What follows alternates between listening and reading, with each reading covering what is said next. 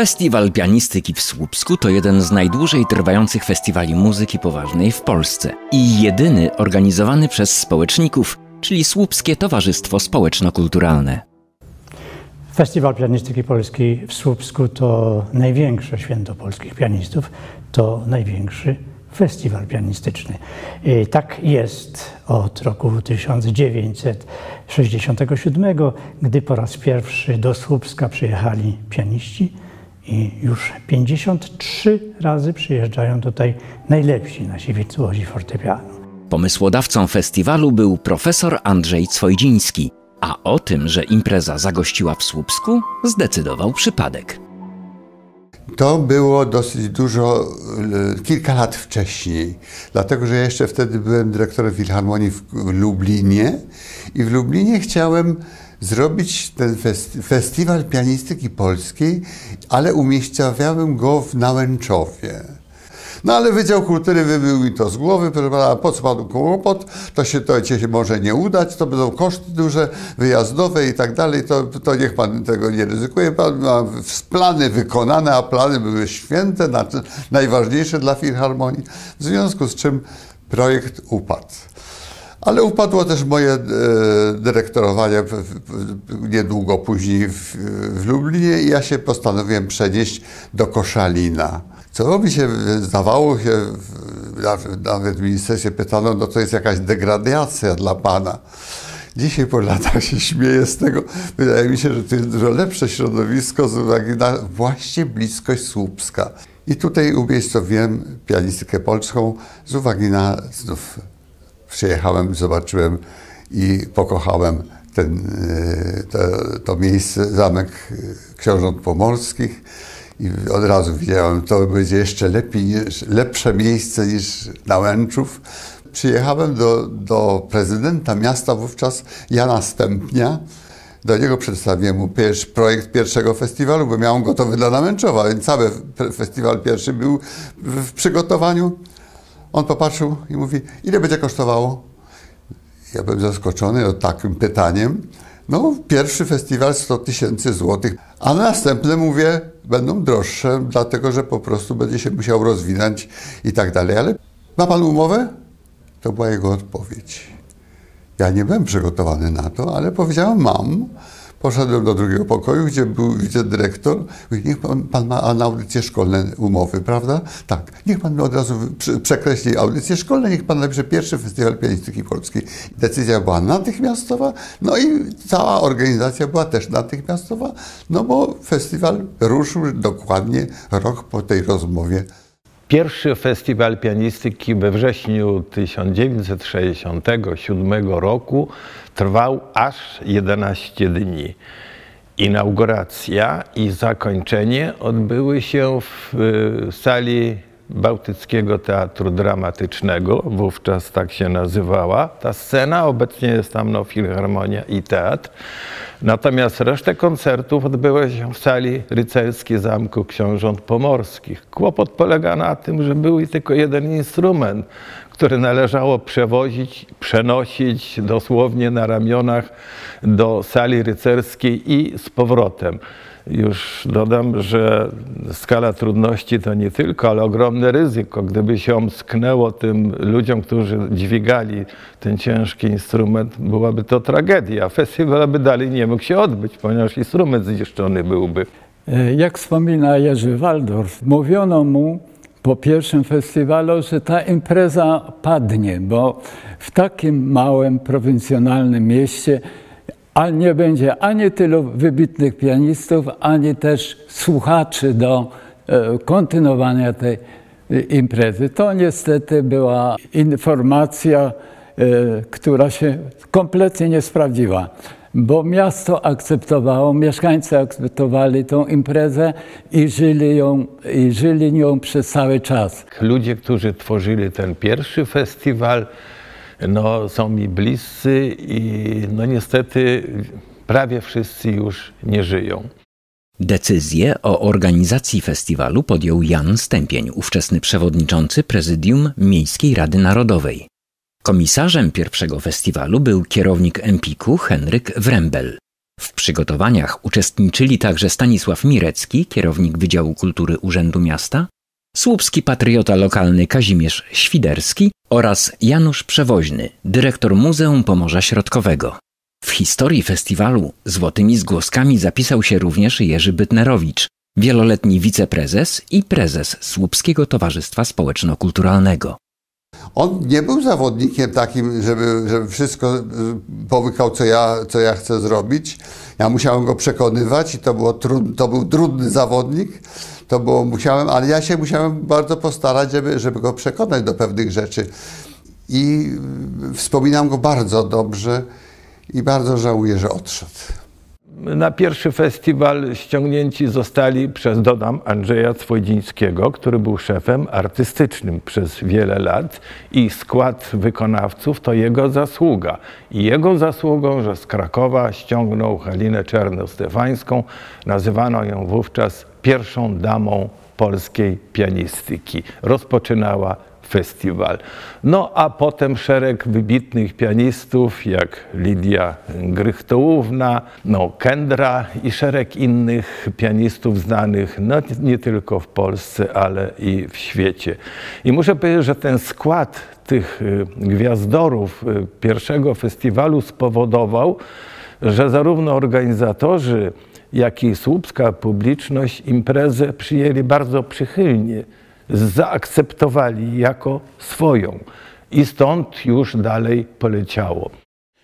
Na festiwal chodzimy już od ponad 20 lat i jest to dla nas jednak ciągle zjawiskowe, nowe, tak jak nasze polskie babie lato. Zawsze nas fascynuje, nigdy nie wiemy, co będzie tutaj nowego. Widzimy piękne barwy i palety, jakie tutaj przed nami są otwierane i od 20 lat, ponad 20 lat wiecznie jesteśmy zauroczeni tym, tym co widzimy i słyszymy. Tak, to jest dla nas tygodniowe święto muzyki. E, nie, nie wyobrażamy sobie września, drugiego tygodnia września bez festiwalu. Jerzy Waldorf, znany wówczas krytyk muzyczny z pierwszego festiwalu pianistyki polskiej, wysłał dla czasopisma Świat relację, w której napisał: Ze Słupska, powiatowego miasta w Koszalińskiem, rozpoczynam mój nowy sezon felietonów dla świata. Czynię to z przejęciem większym niż gdybym pisał z Londynu, bo chodzi o sprawy nasze własne i wydarzenie jest, jak to się mówi żargonem ministerialnym, rangi precedensowej. Założył pan, stworzył pan także Festiwal Pianistyki Polskiej w Słupsku. Tak jest. E, stworzył pan Komitet Odbudowy Powązek, o czym już mówiliśmy. Nie, przy Słupsku stańmy przez chwilę. Otóż Słupsk obchodził niedawno 30-lecie od czasu, kiedy ja przy udziale tamtejszych działaczy bardzo dzielnych założyłem ten festiwal. Ale w 1972 roku udało mi się co innego, że ci wspaniali ludzie zamówili u bardzo dobrego zresztą mm, e, rzeźbiarza, w tej chwili zapomniałem jego nazwisko, pierwszy w Polsce pomnik Szymanowskiego, Horno-Popławski. I ten pierwszy pomnik Szymanowskiego do dziś dnia jest jedynym pomnikiem Szymanowskiego w kraju. Warszawa nie ma pomnika Szymanowskiego. A ponadto niech pan sobie wyobrazi, że w Słupsku z wieży ratusza słupskiego jako hejnał brzmią pierwsze dźwięki fortepianu wchodzącego w czwartej symfonii e, Szymanowskiego. Pa, pa, pa, pa, pa, pa, pa, pa. To jest, to jest do dziś dnia hejnał słupska.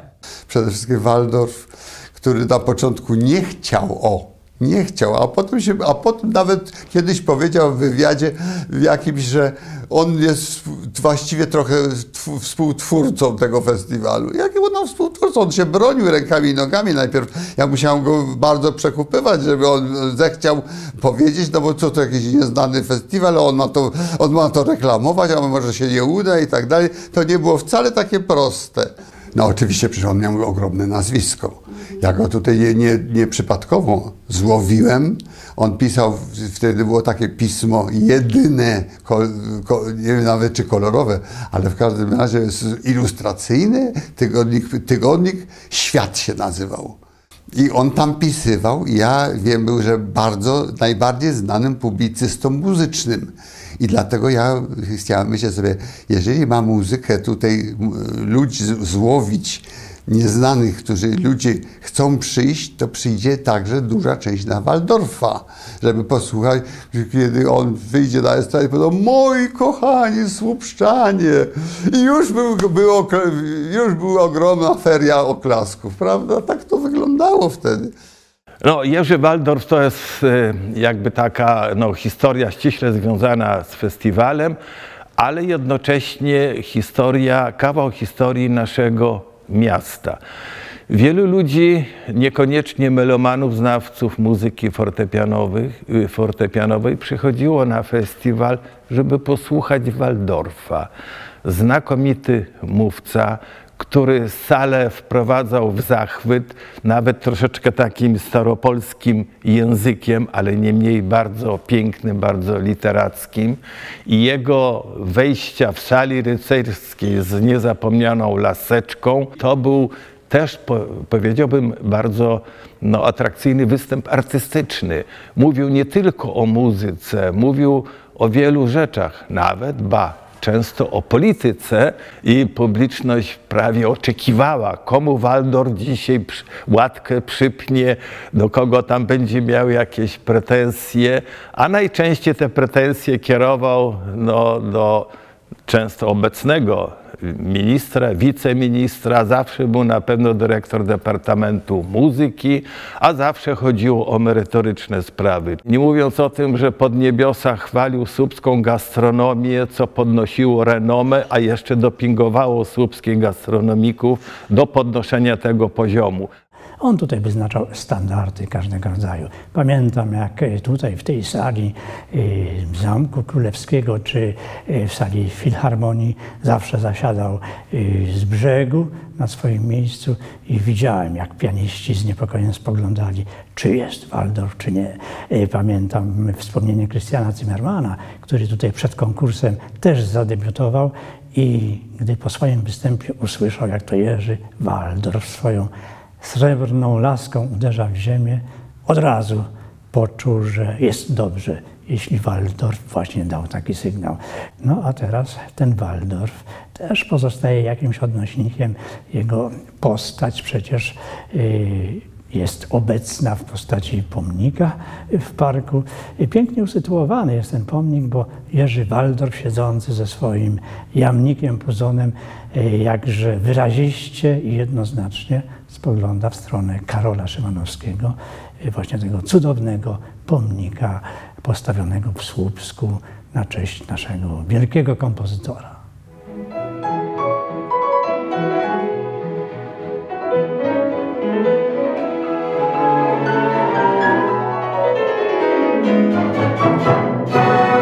Od, właśnie od pierwszego festiwalu władze miasta ustanowiły obchody Dni Słupska. I nie tylko festiwal był oczywiście tą naczelną imprezą, ale wszystkie instytucje kulturalne przygotowywały na ten okres swoje programy, również zakłady pracy.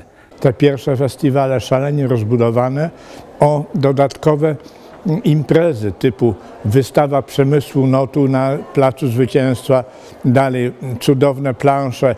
Nawet tam się zmieściły imprezy tego typu, że w szkole muzycznej odbywały się jakieś sesje prawda, dodatkowe. W Urzędzie Miasta również teoretycy urzędowali, czyli była wspaniała obudowa tego festiwalu. Ukazały się bardzo szybko flagi festiwalowe i to nie tylko jak teraz przed ratuszem i przed Muzeum Pomorza Środkowego, ale w, całym, no, w centrum miasta. Tych flag było dużo. Co roku odbył się specjalny konkurs na najlepsze witryny sklepowe y, o tematyce festiwalowej.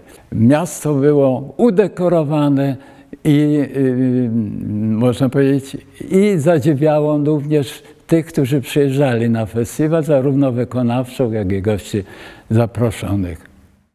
Jak e, festiwal utrwalił się jakby w pamięci słupskiej publiczności, świadczy o tym, że e, od początku cieszył się bardzo dużym zainteresowaniem publiczności. Może nawet nie byli to melomani, Czy zakłady pracy kupowały bilety dla swoich pracowników i nie było kłopotów, że nie przychodzili, bo przychodzili y, ucząc się y, oczywiście słuchać muzyki, organizowana była publiczność. To były czasy socjalizmu. Jeżeli się powiedziało, że zakład pracy takie owaki ma, przy, ma przysłać 10 osób od ze swoich pracowników, to, przy, to 10 osób przychodziło. To było organizowane, zupełnie szczerze mówię, że to było i, i, i przychodzili. A jak już przyszli, to już rybka połknęła haczyk. No dla pań to była rewia mody, a więc pierwsze te festiwale tu elegancja, Francja, elegancja. No i kwiaty, kosze kwiatów y, dla artystów, całe bukiety. No a ewenementem było jak 1971, kiedy był y, Witold Małcurzyński, wystąpił na festiwalu, pani y, tu ogrodniczka pani Lemcio, 24 kosze kwiatów.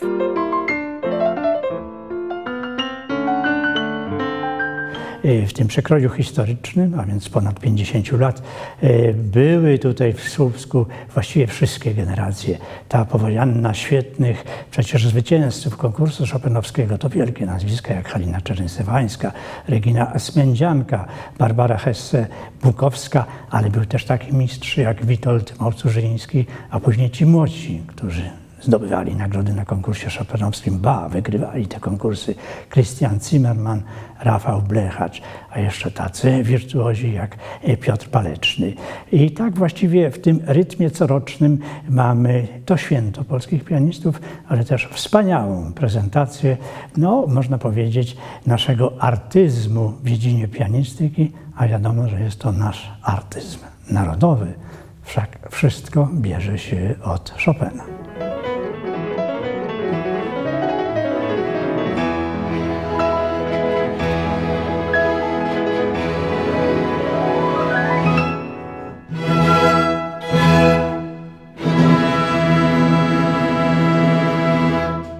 Nigdy nie zapomnę, jako jeszcze komisarz festiwalu, hotel zamkowy i pierwsze spotkanie Haliny Czerny-Stefańskiej i Witolda Małcerzyńskiego. Stefańska siedzi przy stoliku z Elżbietą, ze swoją córką. Przypomnę, to są czasy było dosyć siermiężne. Barek w hotelu zamkowym, gdzie nie wszędzie na stolikach były serwetki i tak dalej. No i spożywają chyba e, obiad i w pewnym momencie wchodzi w asyście swego sekretarza Witold Małcurzyński. Oni się znali wcześniej oczywiście. No i jest powitanie i to powitanie szkoda, że nie było kamery, żeby zobaczyć jak dwie gwiazdy ze sobą się witają. Halina Czerny-Stefańska nadstawia policzek, robi to samo Małcurzyński, więc jednak on ją, że tak powiem, przebił, bo w końcu to Halina go pocałowała w policzek, takie powitanie niby serdeczne, a jednocześnie czuje, czuje się tą rezerwę w stosunku do ciebie. Kto tu jest większą gwiazdą? I za chwilę Halina siada przy stoliku i tak głośno się odzywa, albowiem pani ta y, ajentka poleciała szybko, chyba nawet do domu, przyniosła swoją serwetę, nakryła stoliczek, no bo pani Czerna, bo pan Małcurzyński jest. I Halina to widziała i się odzywa tak niby półgłosem, ale bardzo dobrze. No tak, popatrz, Ela, dywizowiec od razu inaczej traktowany jest. Na jednym z festiwali zdarzyła się taka sytuacja. Pianista, świetny pianista, miał zagrać recital. Tuż przed koncertem, kiedy prelegent jest już na scenie, głosi słowo, zorientowałam się, że nie ma pianisty. Nie ma pianisty w garderobie, nie ma obok, szukam go więc. Znajduję w sali prób, ćwiczy. Ćwiczy, nie widzi mnie, nie widzi mnie. Podchodzę więc do niego, chwytam za dłoń, dłoń jest lodowata. Prowadzę człowieka do garderoby, rozgrzewam mu dłonie. Tymczasem ze sceny schodzi prelegent, a pianista zamiast na scenę udaje się w zupełnie przeciwnym kierunku. Szybkim krokiem zmierza ku wyjściu. Chwytam go więc za kołnierz, prowadzę, prowadzę niemalże do fortepianu, zagrał. Zagrał świetny koncert. Dostał kosz kwiatów. Po koncercie przekazał te kwiaty mnie. Można by rzec, dostałam kosza od mężczyzny. Estrada Młodych, rok 75, to jest początek. Jest Waldorf chyba już wygłosił umowę, tak, i czekamy, usiadł i czekamy. Wychodzi pianista, oklaski, wszystko ładnie, kłania się, siada do fortepianu, podkręca tam te krzesło sobie, się i chwila oczekiwania, no wszyscy wiedzą, artysta się musi skupić, przypomnieć sobie partyturę, nuty i tak dalej, ale ta chwila coś za długo trwa. I po tej dłuższej chwili, nie wiem ile, minuta, to dwie, nie pamiętam, ale wszyscy zaczęli się już niepokoić, co się stało. Pan Piotr wstał, podszedł, ukłonił się i wyszedł. Zjadła go trema. Na dosłownie 10 minut przed rozpoczęciem koncertu przychodzi, przychodzi wiadomość, że solistka nie będzie grała, że dała mi króciutką karteczkę, przepraszam, nie, nie wytrzymuję nerwowo, je, jak pan będzie czytał ten kraj, to ja już będę w pociągu. I koncert się odbył. Na sali zawsze siedziało kilku, czy to jurorów estrady młodych, każdym razie pedagogów. Przecież taki pedagog nie jest w stanie nie mieć repertuaru, który w każdej chwili może pokazać studentowi. Trzy osoby, trzy osoby grały, właśnie każdy, każdy jeden, utwór i cały recital został wypełniony. Ja w pamięci mam tych artystów przede wszystkim, którzy występowali 10 czy nawet 11 razy, jak Halina Czerny-Stefańska. A do tych, którzy występowali 10 razy, nawet 11, Jerzy Godziszewski, to był tak skromny człowiek i tak e, cenił festiwal, że no, zdarzały się wypadki, czy któryś artysta nagle e, zachorował, czy też e, no, miał inną propozycję i odmówił. To wtedy Jerzy Godziszewski zawsze był na posterunku. No, pani y, Regina Smiedzianka nazywaliśmy dama, ponieważ no, przede wszystkim e, swoją, swoim wyglądem, strojem e, robiła takie wrażenie, że to rzeczywiście jest dama. I też jej występy były zawsze żywo przyjmowane, a jeszcze pamiętam też, że na którymś tam festiwalu ufundowała laureatowi Estrady Młody fortepian. No Zimmermana pamiętam z tego pierwszego występu. To, to była wtedy narodowa ekipa e, chopinowska. Pierwszy w zasadzie e, pianista, który no, wygrał międzynarodowy konkurs imienia Fryderyka Chopina i po tym wygraniu przyjechał drugi raz na inaugurację e, do Słupska na festiwal.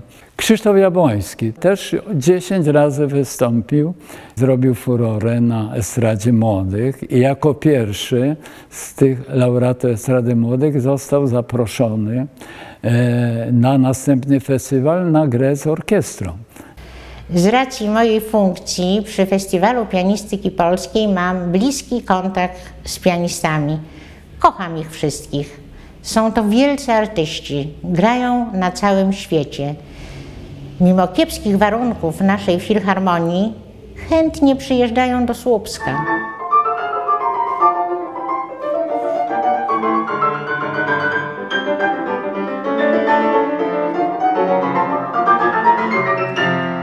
Festiwal Pianistyki Polskiej w Słupsku to ponad 50 lat historii, tej współczesnej historii polskiej pianistyki. Co to oznacza? To oznacza oczywiście e, prezentację naszych wirtuozów fortepianu, ale struktura festiwalu dotyczy również form prezentacji muzyki fortepianowej, bo są to koncerty symfoniczne, oczywiście recitale solowe, także koncerty muzyki kameralnej z udziałem fortepianu, ale co ważne, repertuar. Oczywiście światowy repertuar pianistyczny, ale myśl, żeby prezentować tutaj, wykonywać polskie utwory fortepianowe jest najważniejsza. Oczywiście Chopin, ale także Paderewski, Szymanowski i utwory pisane już w naszych czasach. Dlatego mamy y, zamówienia kompozytorskie na festiwalu i tutaj też mają miejsce prawykonania. Festiwal Pianistyki Polskiej w Słupsku ma znaczenie absolutnie, y, absolutnie fenomenalne dla środowiska i muzycznego, i środowiska odbiorców sztuki. Ja tutaj mam przyjemność jakoś tak bezpośrednio uczestniczyć w tej pięknej imprezie. Już niedługo będzie 30 lat.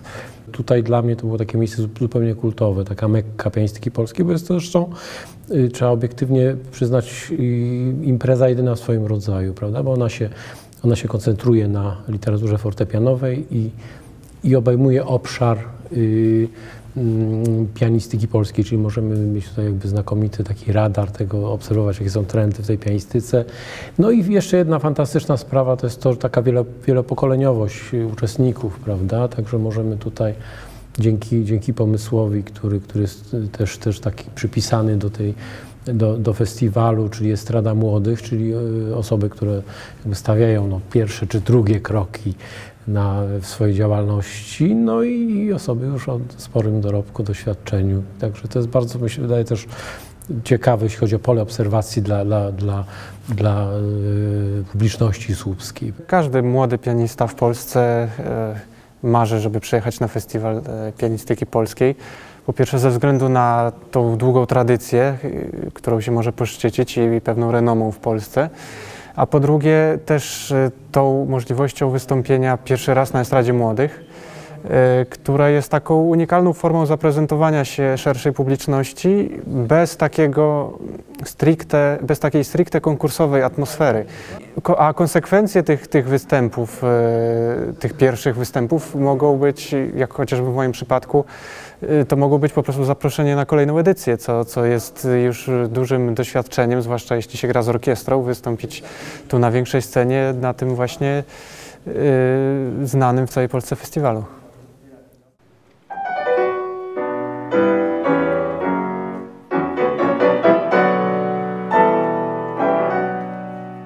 Po raz pierwszy byłem tutaj w roku, proszę sobie wyobrazić, 1972 kiedy grałem pół recitalu jeszcze w dużej sali. Nie było jeszcze wtedy strady młodych. Potem grałem e, kilkakrotnie i solo, i z fortepianem, i na dwa fortepiany. Natomiast od prawie 25 lat jestem związany z estradą młodych, e, z zespołem opiniującym i mam okazję słyszeć wielu, wielu wspaniałych polskich e, pianistów. Podkreślam polskich, bo to jest wielka wartość tego festiwalu. Byłem świadkiem e, bardzo, e, no w zasadzie większości edycji tego festiwalu, że wspomnę, kiedy byłem jeszcze uczniem Szkoły Muzycznej pierwszego, później drugiego stopnia, to miałem przyjemność uczestniczyć w wydarzeniach, które dla mnie wtedy były absolutnie zjawiskowe. Myślę, że jednym z takich y, y, wydarzeń to był koncert Władysława Kędry. Ja wtedy nie pamiętam, byłem chyba bardzo młodym Czekiem, a to pianista absolutnie niedoceniony, y, a bardzo, bardzo, bardzo wielkiej klasy.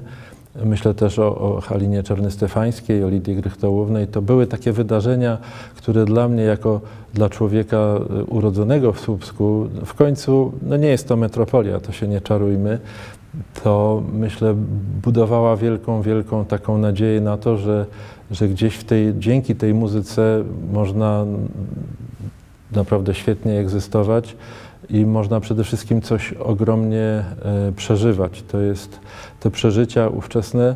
E, powiem jeszcze może tak, że to było takie, po, takie troszeczkę powiązanie muzyki z poznawaniem nadzwyczajnych ludzi.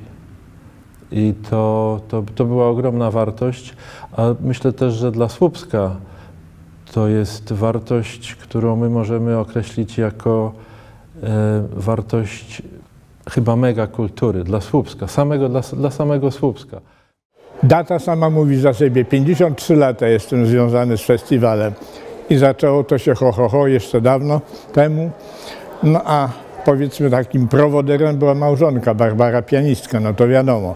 No i tak to myśmy te mnóstwo czasu spędzali zawsze tu, każdy wrzesień z wielką sympatią Estemona. Poza tym jej uczniowie tu ustępowali.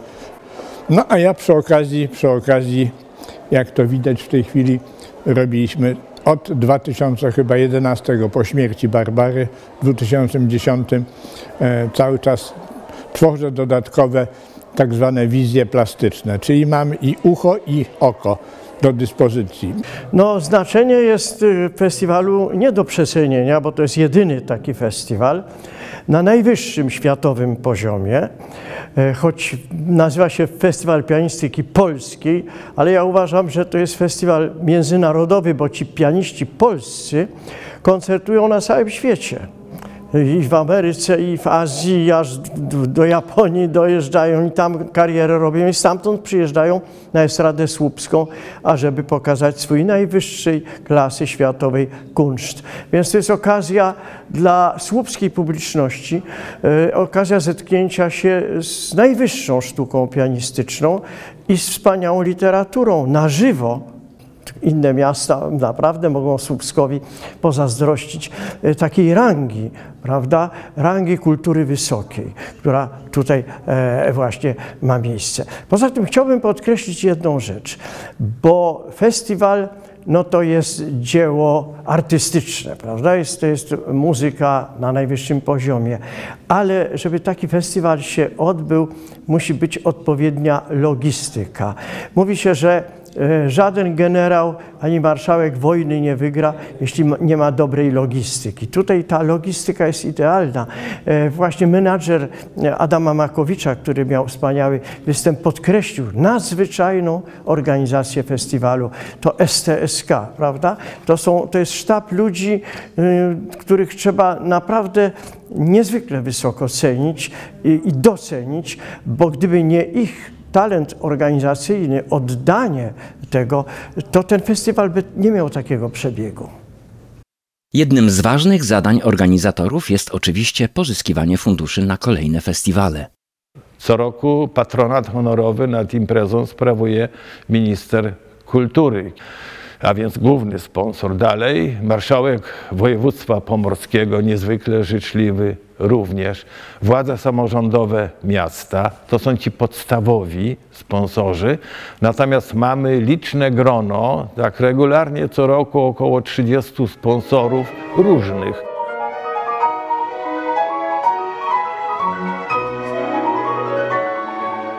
Dzięki festiwalowi pianistyki Słupsk ma orkiestrę symfoniczną, a także dwa pomniki Szymanowskiego i Chopina. Trzeci pomnik, także Fryderyka Chopina, postawiono w uznaniu zasług festiwalu w Ustce. Poza tym do materialnych zdobyczy festiwalowych zaliczyć należy fortepiany, podarowane nie tylko Słupskiemu Towarzystwu Społeczno-Kulturalnemu, ale i innym instytucjom, a także kuranty na ratuszu, ławeczkę Waldorfa, medale, znaczki i karty pocztowe. Niewiele osób wie również, że to właśnie dzięki festiwalowi salę rycerską Muzeum Pomorza Środkowego zdobią trzy gobeliny. Poczet królów polskich, powrót księcia Eryka do Darłowa oraz poczet książąt Pomorza. Organizatorzy zamówili je, żeby poprawić akustykę zabytkowej komnaty, w której odbywają się recitale estrady młodych.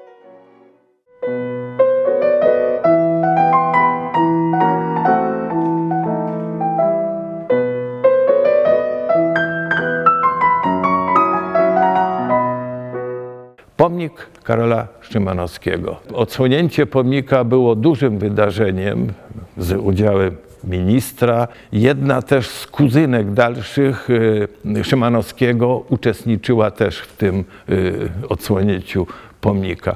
Jeszcze był y, kilka lat później odsłonięty pomnik Fryderyka Chopina, y, dłuta z kolei artysty też wybitnego Mieczysława Weltera. No z festiwalem y, oprócz pomników jest związana klawiatura gwiazd festiwalu. Znany tu artysta w Słupsku, plastyk, artysta Andrzej Schulz, zgłosił się do nas, do organizatorów, że warto by było uczcić pamięć tych wybitnych pianistów, którzy występowali, a już niektórzy nie żyją.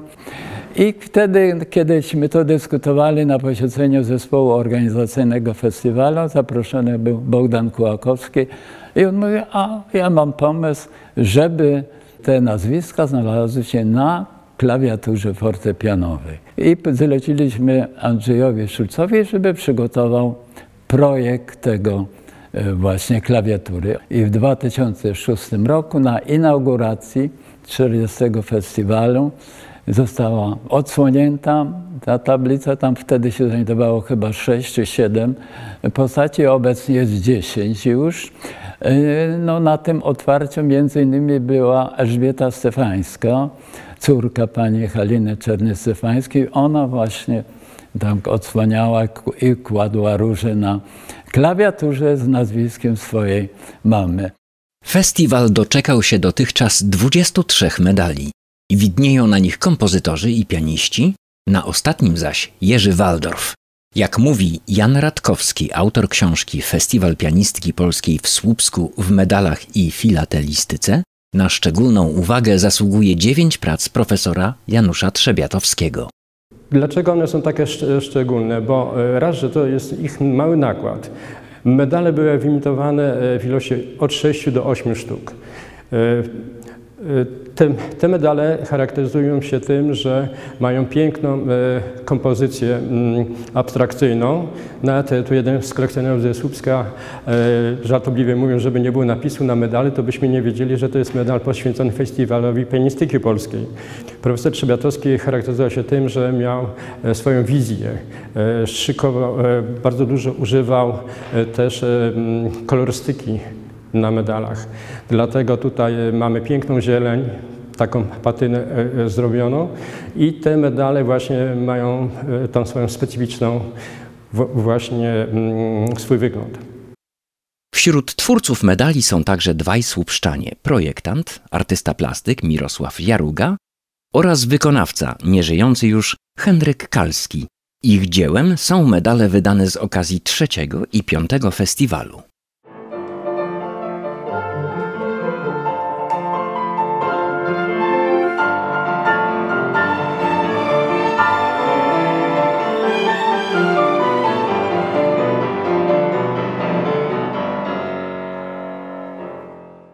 Słupskie Towarzystwo Społeczno-Kulturalne dysponuje dokumentacją e, festiwale pianistyki. To są oczywiście programy, książki programowe.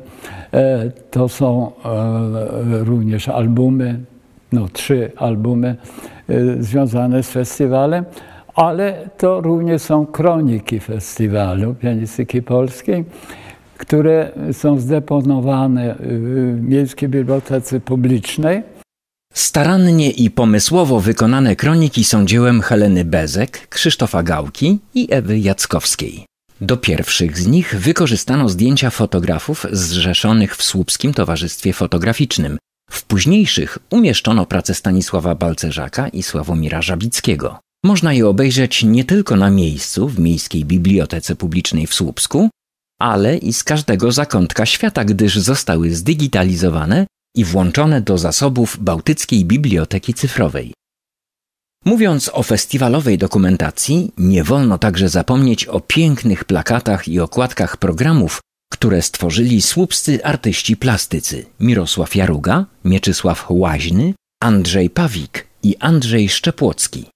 Ci wszyscy ludzie dbali i dbają o to, by pamięć o trwającym ponad pół wieku festiwalu, który na stałe wpisał się w krajobraz miasta, nie zaginęła. Jednak ta muzyczna przygoda się nie kończy. Historia klawiaturą pisana będzie wszak miała ciąg dalszy.